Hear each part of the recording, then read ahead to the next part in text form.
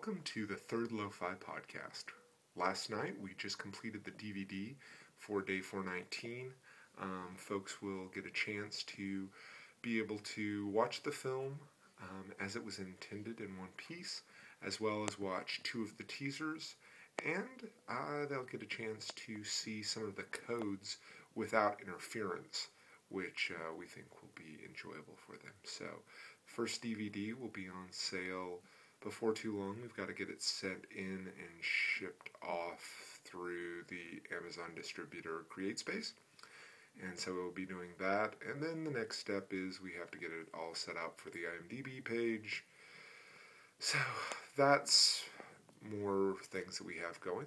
And then uh, tonight I'll be meeting with Kat Carney, um, the lead from Day 419 and the depleted films that I'm working on. We'll be talking more about some of the different plans we have for shooting the feature, what some of the setbacks have been. I mean, we've had a lot of stuff happening with a lot of the people who were involved in helping us create stuff. Just really awful things, unfortunately, in their home lives and bad things happening to them. So it is part of this entire process. So um, we'll be having that conversation tonight and looking forward to talking with her about some of the cool things we've been doing with things like the uh, uh, contributor section and the different ways people can collaborate and do those sorts of things. But again, it continues to be a process. One thing that I do need to do is I need to find a way to have folks who uh, go to the epilogue.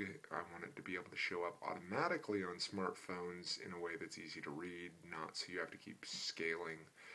So, because that's a colossal pain, and our goal is that people will find it and really dig it and uh, move on from there. So, that's going to be a big thing is making sure we have ways that uh, people can quickly find information depleted and move on from there.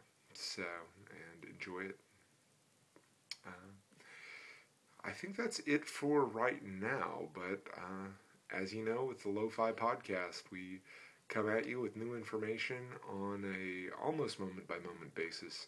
The only uh, clarifying factor is if we can find a place where I can sort of steady my iPhone.